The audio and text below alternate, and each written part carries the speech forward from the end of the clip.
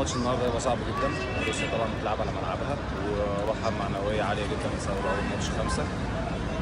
وأعتقد إن هي دي فرصتنا يمكن فرصتنا الأخيرة يعني. إحنا لو النهارده ما كسبناش أعتقد إن إحنا فرصتنا في الصعود هتبقى صعبة جدا.